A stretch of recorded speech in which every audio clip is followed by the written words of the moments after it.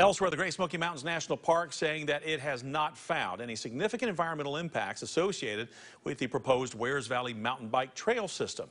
The environmental assessment was required by law. While this is a step forward, we should point out that the project still needs funding. If that money becomes available, the plan calls for creating nearly 12 miles of mountain bike trails in the Wears Valley area near the Foothills Parkway. And while more than 800 miles of trails already exist in the national park, fewer than eight miles are designated for biking. And none of these existing trails were actually built with mountain bikes in mind.